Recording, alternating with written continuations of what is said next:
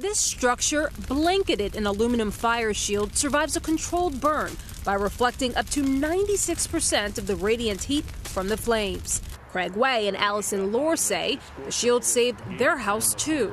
It got hot enough to scorch all this gable trim up here. Though a few minor remnants of last year's Cameron Peak fire, the largest in Colorado history, still remain. Reminders of what they could have lost. Our little cabin in the woods up here is our slice of heaven. It's part of us. The couple spent 10 years in a camper on their four acre property to save enough money for Craig, a contractor, to build their Rocky Mountain paradise.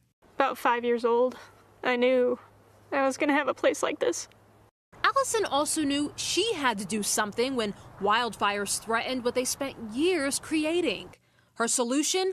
Cover the cabin in massive flame resistant tarps. We wrap it from up underneath of the gutter and then down. It took them a day and a half to attach using hundreds of staples and chicken wire, a configuration that helped the cabin survive mostly unscathed. If you have something to protect your house, do it. A calculation a growing number of homeowners are making, according to FireZat, the manufacturer. They're protecting their investments, they're protecting their family's history and heritage. We say it's the last best thing you can do. FireZat's aluminum shield, regularly used by the Forest Service and parks around the country, costs $700 a roll and covers a thousand square feet. Craig and Allison needed two. That day it ran through, felt helpless and a sense of peace at the same time, having the fire wrap on. And later, a sense of relief. Their cabin was one of only five left standing in a community of 70 landowners. A wildfire is nothing to mess with.